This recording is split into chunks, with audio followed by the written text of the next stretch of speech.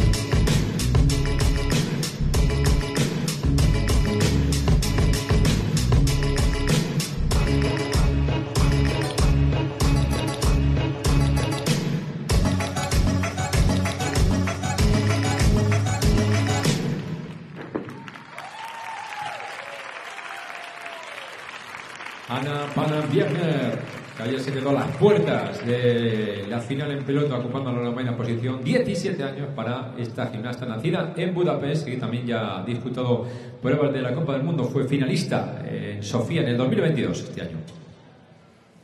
17 years old from uh, the capital of Hungary, Budapest, Hanna Pana Wiesner. Actúa representando a Chile Montserrat Urrutia.